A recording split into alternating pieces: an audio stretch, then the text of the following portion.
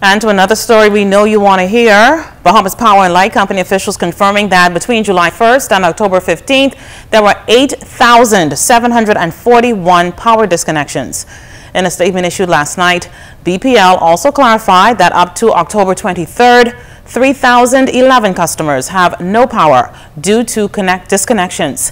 That represents 2,542 residential customers and 469 other customers.